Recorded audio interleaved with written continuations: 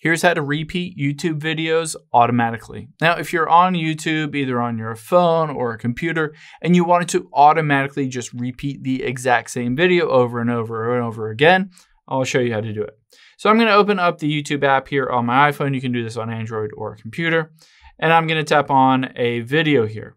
Say this is the video from Mr. Beast that I want to play on repeat automatically. I can tap on the video and then tap on the gear icon at the top right here. And now you can see loop video will allow you to basically play it on repeat. So the default is that it's off, but I can just tap the gear icon again and tap loop video. And you can see at the very bottom, it says loop video is on.